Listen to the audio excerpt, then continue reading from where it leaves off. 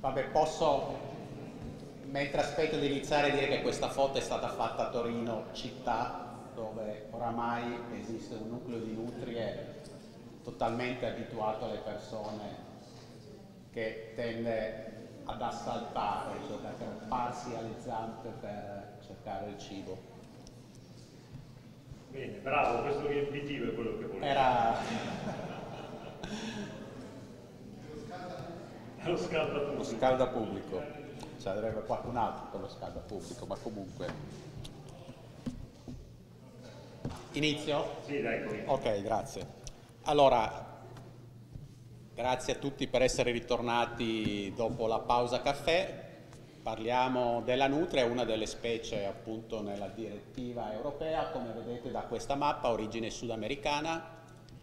è stata importata in Europa e anche negli altri continenti sostanzialmente per un interesse economico legato all'utilizzo della pelliccia. Successivamente gli animali sono stati rilasciati o sono fuggiti e hanno dato origine a popolazioni naturalizzate Nord America, Europa, Asia e anche un po' in Africa. Eh, gli impatti conosciuti riguardano soprattutto i danni alle colture, l'impatto è un erbivoro, quindi l'impatto sulla vegetazione acquatica, attivi, attività di scavo per, la, per, la, eh, per lo scavo appunto delle tanne che mette a rischio le arginature e la distruzione di nidi degli uccelli. A questo proposito in passato si pensava che la nutria mangiasse le uova, abbiamo fatto alcuni lavori con la fototrappole e si è visto, almeno in base alla nostra documentazione, che le uova non sono ricercate per uso alimentare, ma sono i nidi che sono ricercati come piattaforme galleggianti e eh, la Nutra le usa per, come luogo di sosta e ovviamente eh, appoggiandosi, come vedete su queste foto, sui nidi e sulle uova, distrugge le uova e affonda i nidi. Questi dati ormai sono vecchi, risalgono al 2000 e ahimè 2000 sono passati quasi vent'anni. Eh, comunque allora con ISPRA abbiamo fatto un lavoro di eh, raccolta delle informazioni sul controllo della specie a livello locale, a livello nazionale e si vede come i costi totali nell'anno 2000 erano 4 milioni di euro. E questo permette di fare un, un commento, cioè che in questo caso un'attività economica privata finché è stata redditizia ha portato guadagni ai privati, quando non è più stata redditizia ha portato dei costi a carico della comunità e non mi riferisco solo ai costi economici ma in generale a tutti gli aspetti legati alla gestione di una delle specie che sicuramente è diventata problematica a livello nazionale anche per la sua ampia diffusione. Come dicevo prima fa parte della lista delle prime specie inserite di interesse unionale per questo eh, ISPRA e il Ministero dell'Ambiente stanno predisponendo un piano di gestione eh, nazionale seguito da Roberto Cocchi per quanto riguarda ISPRA e eh, il piano, eh, il regolamento prevede per le specie ampiamente diffuse comunque l'implementazione di misure di gestione efficaci basate anche su un'analisi dei costi e dei benefici. Vedete qua la distribuzione della specie a livello italiano, come l'abbiamo ricostruita con diverse fonti eh, di dati, oramai la specie è distribuita senza soluzione di continuità nella valle del Po e lungo la costa adriatica fino all'Abruzzo, lungo la costa tirrenica dalla, dalla, Liguria alla Campania, mentre invece in, in, eh, è anche ampiamente diffusa in Sardegna, in Sicilia e in alcune regioni del sud è eh, ancora localizzata, i nuclei sono isolati e frammentati. In molte province del centro e del nord Italia sono mh, stati approvati dei piani di controllo in base alla recente normativa e quindi si presume che ci siano attività di controllo che vengono eh, rendicontate. Le altre regioni azzurre eh, indicano province azzurre indicano dove la specie è presente ma al momento non, non sono attivati i piani di controllo. Il piano prevede quattro opzioni perché ovviamente si tratta di una specie ampiamente diffusa, quindi non si parla di eh, eradicazione, ma si parla di una gestione in qualche modo eh, sostenibile che prevede quattro tipi di eh, attività. Ricordo che c'è un obbligo imposto dal, dal regolamento intervenire, ad intervenire E quindi abbiamo mh, previsto per le varie regioni delle possibilità gestionali che vanno dall'eradicazione, ovviamente se si tratta di nuclei isolati in cui è ancora possibile intervenire in questo senso, gestione a densità zero, cioè gestione ripetuta nel tempo finalizzata a mantenere una densità bassissima, contenimento spaziale o controllo finalizzato a ridurre eh, gli impatti. L'eradicazione locale è eh, possibile in Italia soltanto in alcuni casi dove ci sono ancora delle popolazioni eh, isolate. Eh, sono operazioni spesso complesse, anche impegnative sia come risorse umane che risorse economiche, però ricordo che eh, in Inghilterra la nutria è stata eh, eradicata da un'ampia superficie e l'eradicazione quando ha successo eh, implica la rimozione completa della specie dall'area geografica di riferimento e quindi eh, la risoluzione del problema gestionale che si doveva affrontare. In Italia si è persa l'occasione in passato, quando gli animali venivano rilasciati per prevedere la loro rimozione e questo ha portato a una diffusione della specie su ampie superfici, dove oramai occorre in genere prevedere altri tipi di gestione. Ricordo anche che l'eradicazione in, uh, in, Inghilterra è stata possibile grazie a uno sforzo concentrato nel tempo ma impegnativo. Erano state impiegate, se non erro, 18-20 persone a tempo pieno. Quindi se si vuole implementare un'azione di questo tipo deve essere pianificata attentamente e devono essere messe a disposizione le risorse adeguate, altrimenti il progetto si trasforma in un controllo a lungo termine che tra l'altro nel tempo implica una rimozione e soppressione di un numero decisamente maggiore di animali.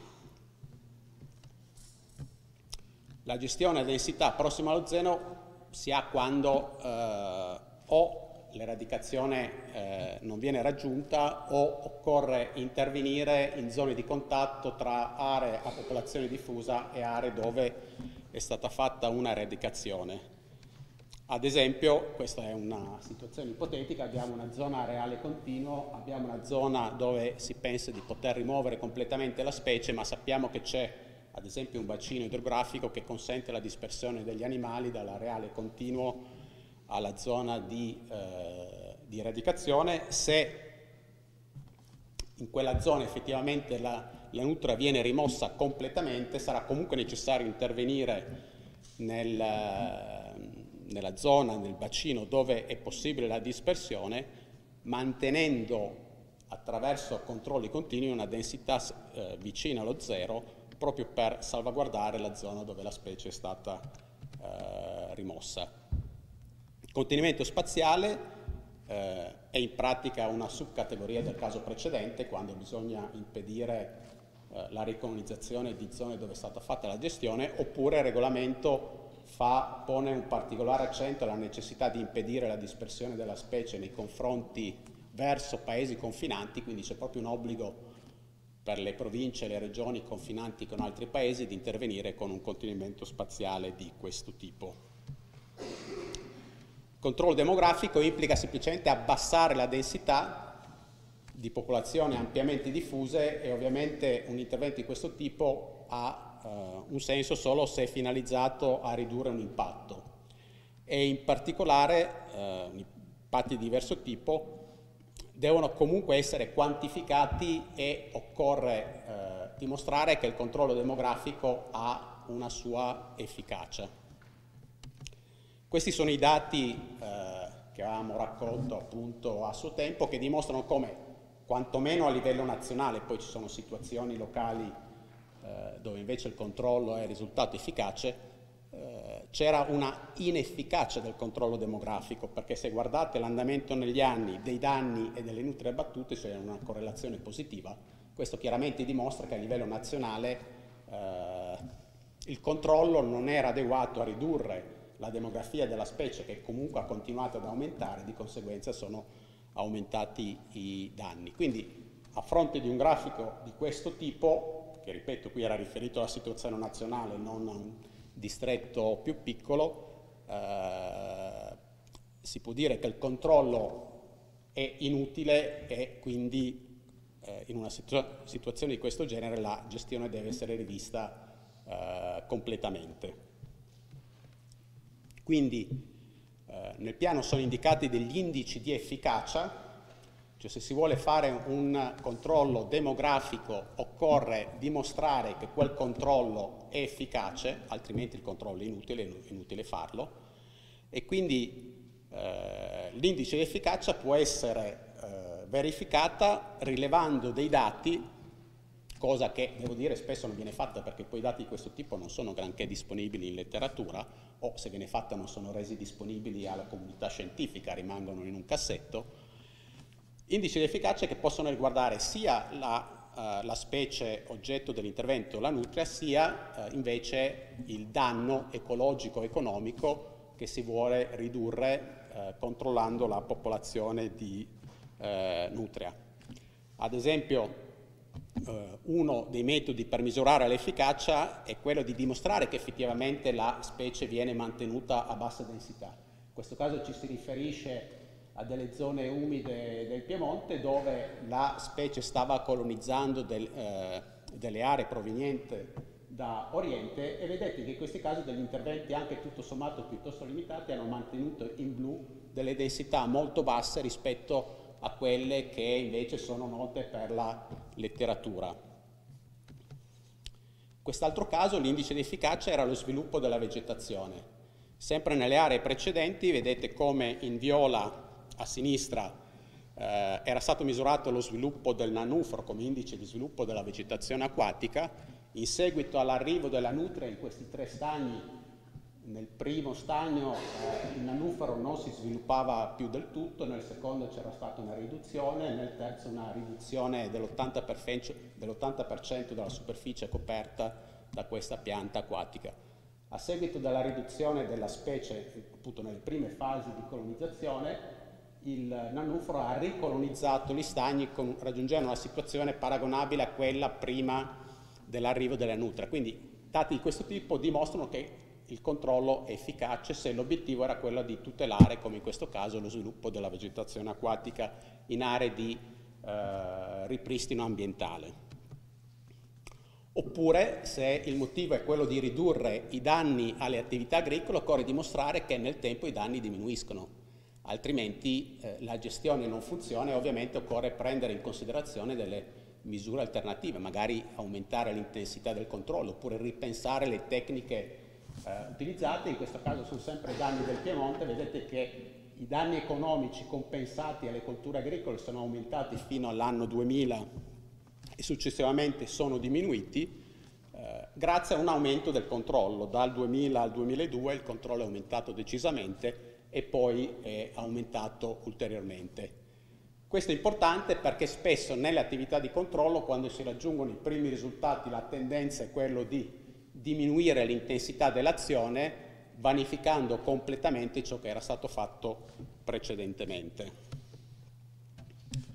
Quindi gli obiettivi che sono obiettivi regionali del piano eh, di gestione na nazionale sono stati valutati in base alla, alla distribuzione della nutria, alla continuità spaziale delle popolazioni e anche gli obiettivi gestionali che le stesse regioni si erano date. Eh, in una fase iniziale ISPRA, eh, soprattutto grazie al lavoro di, di Roberto, ha contattato eh, tutte le regioni e altri uffici preposti alla gestione della nutria e eh, vi assicuro è stato un lavoro molto lungo, chiedendo alle regioni qual era la loro percezione dell'impatto che la nutria aveva eh, quindi semplicemente una valutazione da 1 a 10 senza, eh, alcuni hanno fornito anche dei dati, altri no, e vedete che eh, per alcune regioni del centro e del nord Italia, eh, si vede poco, comunque sul rosso c'è la Lombardia, eh, in effetti c'è una percezione di un impatto eh, importante e quindi se la regione ha una percezione di un impatto importante vuol dire che quella regione in qualche modo si deve impegnare o si è già impegnata a intervenire di conseguenza. Altre regioni che non sono riportate davano una valutazione o non hanno risposto o da una valutazione di una presenza del tutto eh, trascurabile. Quindi le regioni stesse hanno già una percezione di quale sia il problema eh, legato alla nutria, all'interno del piano abbiamo semplicemente cercato di formalizzare questa loro eh, percezione del problema dando delle indicazioni che vedete qui sintetizzate. Ovviamente a ogni regione è richiesto il monitoraggio perché questo è un obbligo legato al regolamento, eh, quindi anche in Val d'Aosta la specie non è presente ma potrebbe arrivare in futuro e quindi c'è in qualche modo la necessità di prevedere un, un monitoraggio ovviamente non solo della nutria ma anche delle altre specie all'interno del regolamento. Attività di eradicazione sono previste eh, localmente anche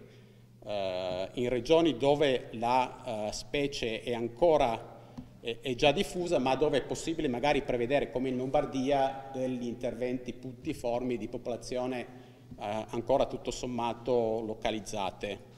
Vedete ancora altre attività o finalizzate a densità zero o contenimento spaziale. Il contenimento spaziale riguardano anche tutte le regioni che si trovano al confine.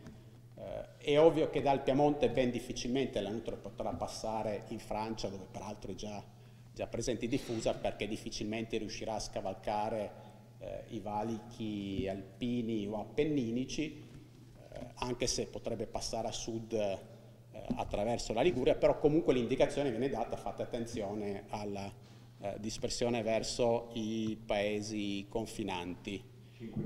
Sì, sì, ho finito. Eh,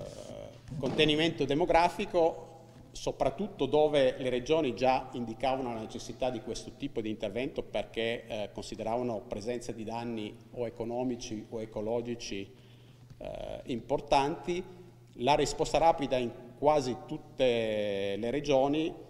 eh, soprattutto dove in parte delle regioni la, la specie non è ancora presente e la risposta rapida è particolarmente importante perché in regioni dove la specie non è presente o è localizzata se si riesce a impedire la colonizzazione di nuove aree, spesso rimuovendo pochi animali si risolve localmente eh, il problema e si evitano successivamente interventi eh, più costosi che implicano anche la soppressione di eh, molti animali. E di nuovo eh, legato al monitoraggio, l'aggiornamento della distribuzione e poi qui non è indicato ma comunque la necessità di eh, conferire a ISPRA annualmente i dati di eh, animali rimossi, ma sulla distrib distribuzione della specie, animali rimossi e si spera anche i dati utili a valutare l'efficacia eh, degli interventi nel medio e nel lungo termine. Quindi in generale eh, ci sono due aree a distribuzione continua dove sono possibili generalmente solo attività di controllo, eh, tranne situazioni molto coalizzate, e quindi dove deve esserci una verifica periodica dei risultati e degli obiettivi. Nell'Italia, nelle regioni del sud e in alcune situazioni insulari è ancora possibile eh, prevedere interventi di, di, eradicazione locale o contenimento spaziale che sono molto importanti per impedire che anche in queste regioni ci sia poi in futuro una situazione simile al nord Italia dove c'è poi l'obbligo di intervenire con controlli eh, appunto nel lungo termine. Eh, per finire volevo ancora sottolineare la necessità di una gestione che sia realmente adattativa e che porti nel tempo a migliorare eh, le strategie di gestione, ma soprattutto che porti a misurare ciò che si sta facendo. Un controllo che non, può, che non prevede una misura dei risultati ottenuti è un controllo inutile eh, e quindi un dispendio di energia e anche un impatto eh, inutile su popolazioni animali. È importante passare da un controllo finalizzato semplicemente a catturare il maggior numero di animali possibile a un controllo efficace e quindi misurato con la raccolta di informazioni adeguate e soprattutto l'elaborazione di queste informazioni e la messa a disposizione di tutti dei dati che vengono raccolti in modo tale che ognuno possa valutare le esperienze degli altri e utilizzarle anche per migliorare eh, la propria gestione. Grazie, ho finito.